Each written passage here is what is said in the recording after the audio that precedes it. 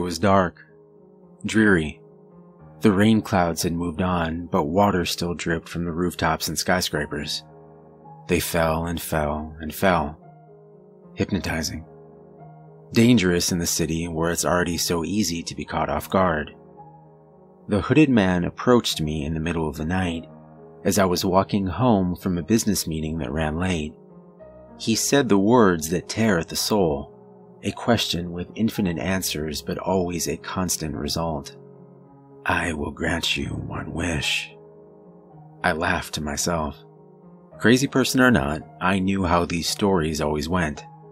Make wish, granted in a horrifying way, wisher dies. Simple as that. I'd read The Monkey's Paw. I'd seen Wishmaster.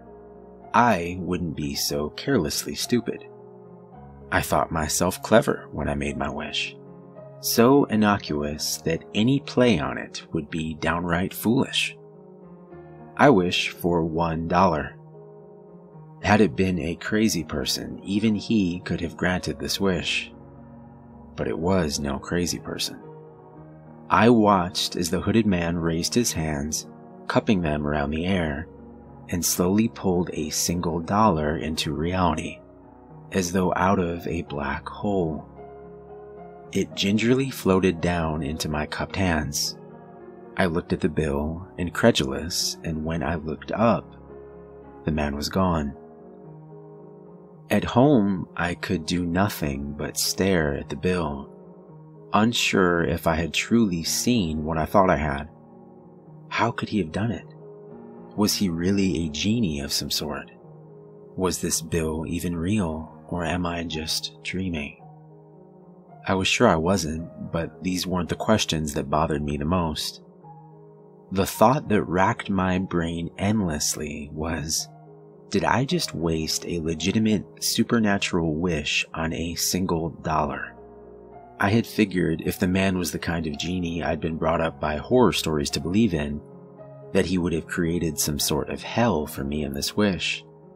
I figured the dollar would create minimal suffering at best.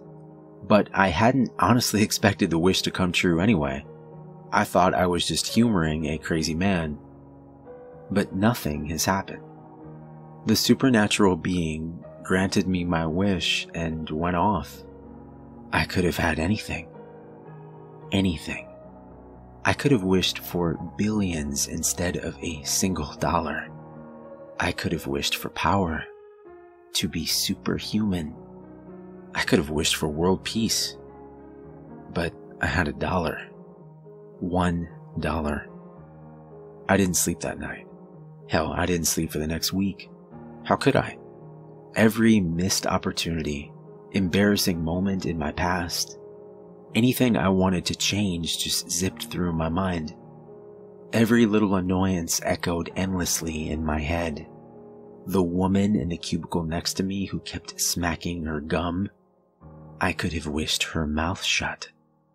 The guy who kept bringing his work problems to me because he couldn't do them, but still got paid more, I could have wished for him to be fired. My boss, who did absolutely nothing but shit on me day in and day out, I could have wished him dead and had myself put in his place. Saturday, I went into work. The only person who works Saturdays is my boss, that dumb shit. He never really worked. He went in to bang his secretary in empty offices while his wife at home with her two kids believed he was at work making them a better life. She would have thanked me. The stapler on my desk would do the trick. I caught the secretary coming out of my boss's office. The back end of the stapler gashed right into her temple. She was out cold. My boss, still buttoning his pants up, tried the old trick of yelling at me and telling me I was fired to get me to stop advancing. But I could see the fear in his eyes. He couldn't even work his zipper right. I pushed him onto the desk, grabbed the fountain pen, and stabbed him in both of his eyes. This time, not so quick as a bash to the head. As he writhed on the desk, I took my rightful seat at his desk. This is what my wish should have been, I thought. This was the happiest I'd been all week. It could have been the happiest I'd ever been, as far as I could remember. Someone must have heard the screaming on one of the lower floors. We were at the top of 16 stories. Maybe it was someone else's boss screwing a secretary too who heard us. Someone who didn't have the guts to murder for a better job. Whoever it was, I knew they heard us because I could hear the faint sound of sirens outside the building on the streets below. They probably wouldn't let me keep this job after what I've done.